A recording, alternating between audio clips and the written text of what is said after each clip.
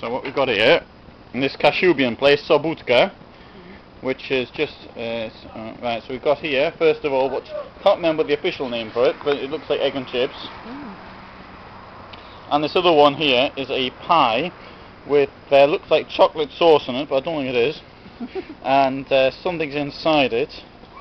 And um, it's called a placek kaszubski or something.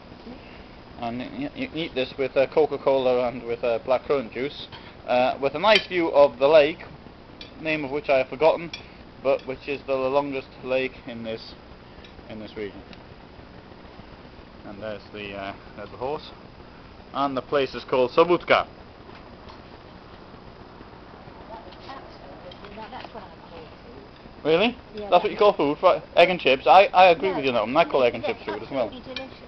We haven't tried it yet. It might be horrible. Yeah, Um, you want to take half of this placek as well, by the way. I don't know. You've got double it, double yolk egg to start with. Yeah, I'll get them in Warsaw. Sit down. Right.